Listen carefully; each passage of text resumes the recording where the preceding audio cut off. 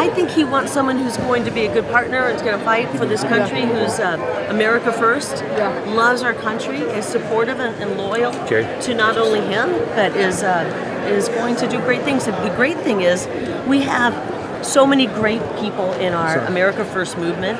He could pick from literally hundreds of them.